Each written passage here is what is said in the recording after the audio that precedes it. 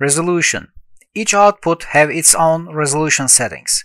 On primary output, you can select SD and secondary output, you can select HD.